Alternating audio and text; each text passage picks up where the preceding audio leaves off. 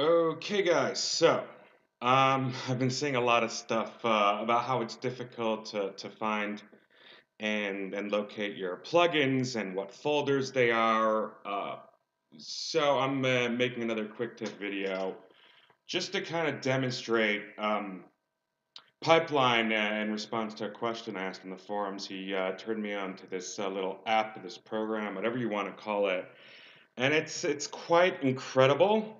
Um, and there's quite a few demonstration videos of amazing things that, that it opens up tremendous horizons because it's it's a modular it's called uh, mini host modular vst but i am this in this video i'm just going to show the very simplest kind of use that, that you could use it for, which will also be the most helpful to many people here.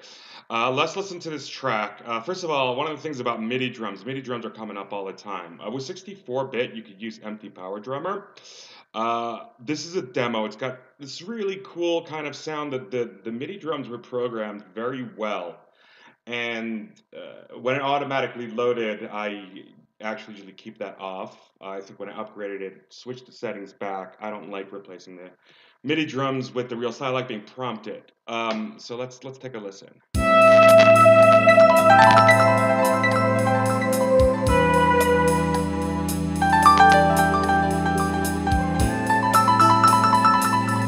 The drums have this lovely pacing, but but this is not quite what it's about. A lot of the drums have this kind of very a pounding sound like this bosh, like the 80s and you could just do so much better than that but but it's not about that either. Let's this is about mini host modular.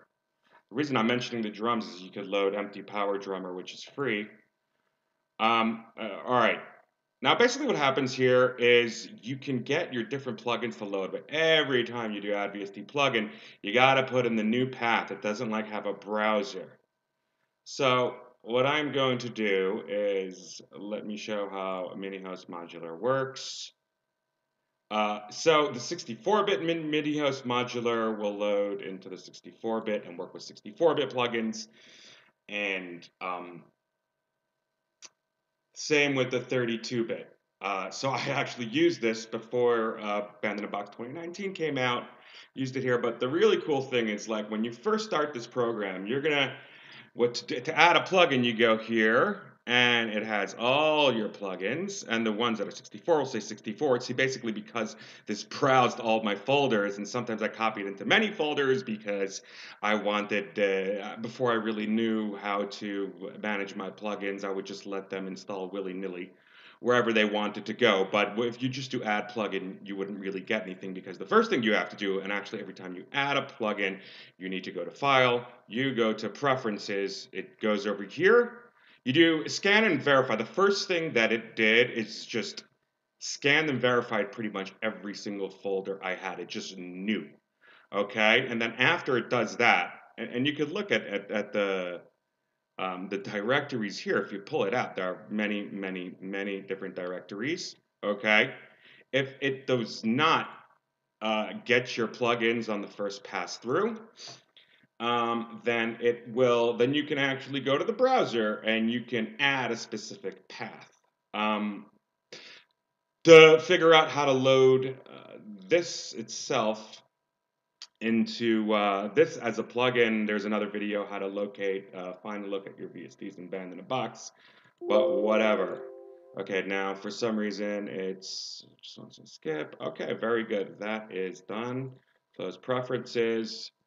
And now, whenever you want to add a plugin, you have them all here. And MiniHost Modular is in the place where uh, Band in a Box wants to look. But once you have it, you're you're scot free. You just uh, it's got all the subfolders. You really don't have to think about it. If it doesn't find a certain plugin, um,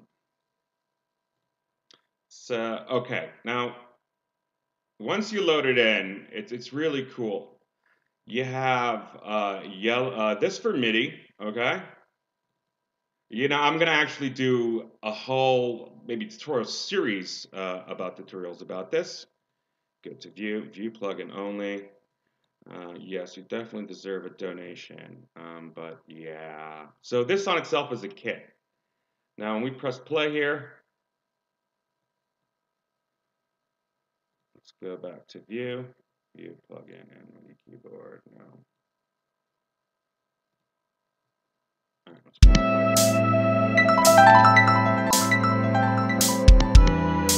MIDI's going in here.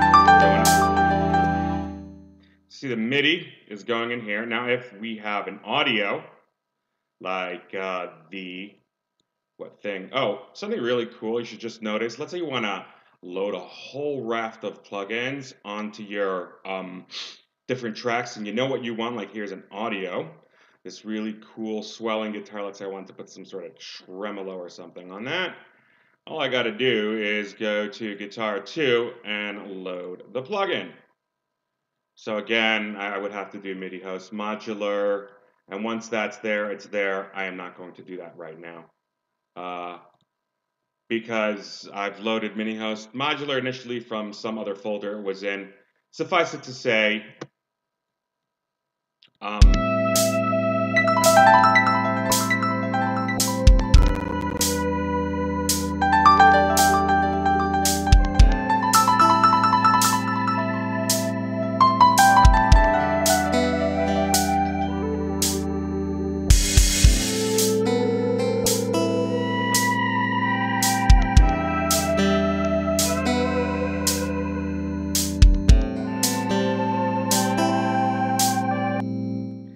appears at once here, I have to do it again. Um, reload the plugin if I've um, exited that slot. So you know what? I'm actually, there's like 30 trillion things that are really cool. If you notice how you can route, once the MIDI is producing a signal, you could route it out to audio effects. You could do so many different things. You could add an arpeggiator. Um, you know, the problem when you are doing, let's say you have pads. Let us, um, if we still have the pads, oh, maybe they don't come in until the B section. Yeah. Well, let's say I wanted to put in standalone arpeggiator like, uh, what is it, Blue Cat, Blue Arp, which is one of the best things ever made. So if I would add a Blue Arp, it would not be able to drive a signal you know, all those signal paths are actually on my 32-bit version, and, and I've actually set it up in a way that I could demonstrate it a lot better. But for now, what I'm trying to say, load MiniHost modular. Oh, there it is. Um, and just do the scan. You go to File, you go to Preferences, Scan, Verify, and every single time you want to add, let, add, sorry, any kind of plugin. I mean, you could just go add plugin, uh, you go to Absynth for all I care.